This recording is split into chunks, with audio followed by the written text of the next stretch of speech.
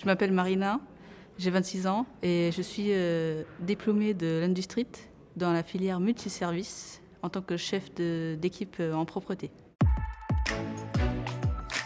Je suis passée par un bac ES.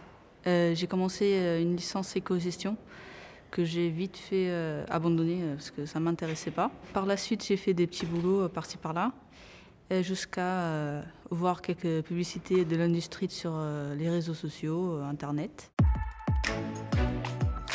Après la prépa, euh, je suis passée euh, six mois euh, en filière. Au début, on nous apprend à manipuler les machines, ce qui était nouveau pour moi.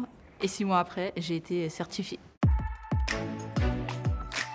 La façon innovatrice d'apprendre, l'ambiance avec les formateurs, les apprenants, les salariés, le directeur même. Hein. On se tutoie, on prend un café ensemble, on parle, on discute et on se forme en même temps.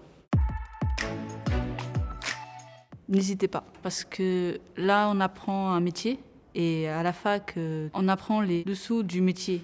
Donc euh, lancez-vous, euh, vous n'allez pas le regretter. Malgré les propositions d'embauche, j'ai décidé de continuer à me former. Je vais faire la formation responsable de secteur, ce qui est un peu au-dessus de chef d'équipe. Donc je vais encadrer des sites, des personnes. ce sera plus large donc plus de responsabilités, ce qui me permettra de faire le métier euh, que je veux euh, par la suite.